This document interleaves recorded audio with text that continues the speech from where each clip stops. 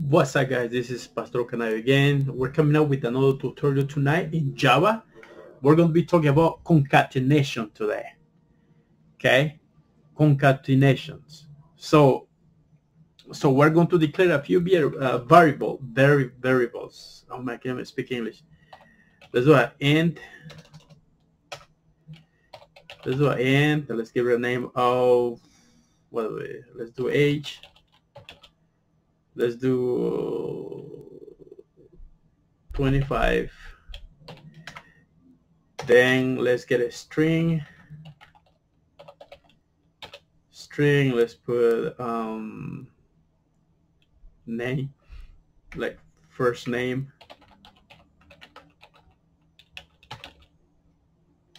Let's put first name let's put my name.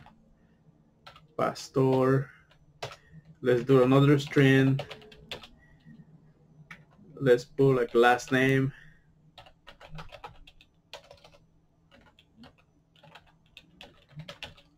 Uh, let's do uh, Smith. Let's close the semicolon right there. So how do we print this in one line all of this? Let's do the system. The out print line, parentheses, quotes, not quotes for now. So how do we put all of this all together in one line?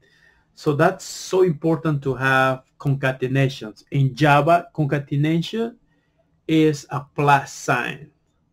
So for, for example, pastor, right? So let's put together is references, which is first name,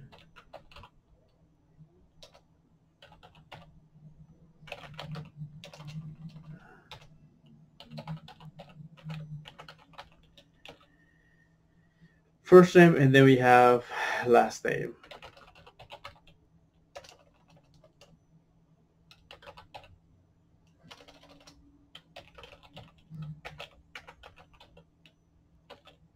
Right? And then we have age. So we have this reference right here, which is the name of the variable we're going to put together because we want these values to be together. We want Pastor Smith is 25 years old. So, like I said before, in Java, we use the plus sign to concatenate, to put things together, to print one line. Like right now, we're going to do, we're going to use the plus sign. Right? So that should give me Pastor, first name, uh, Smith, is. So what we have to do, so we're going to use a string literal right here.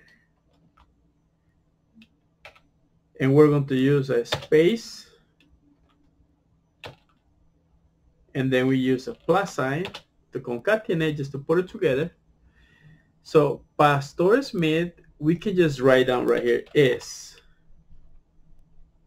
Right? Pastor is 25 and we use another plus sign. And we write down years old.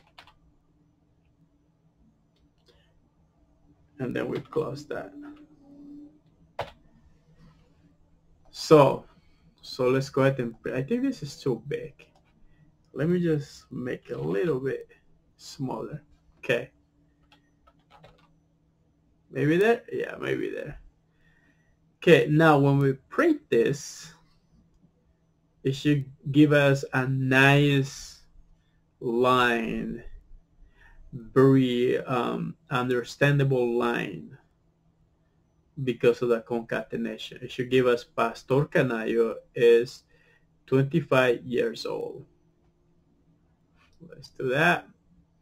You know, actually right here, let's see, let's let's go ahead and run this program.